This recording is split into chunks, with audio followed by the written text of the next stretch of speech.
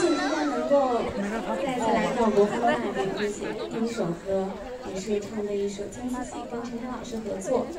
嗯，那么接下来的两首歌呢，呃，是我的上一张专辑里面的两首。呃，第一首是《美人灯》，第二首是《琉璃》。那希望大家能够喜欢。好，喜欢。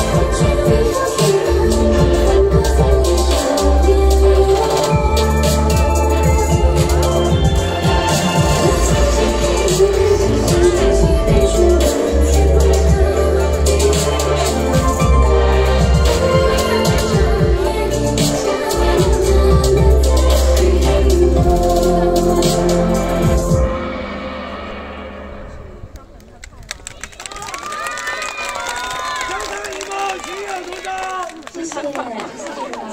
这个男。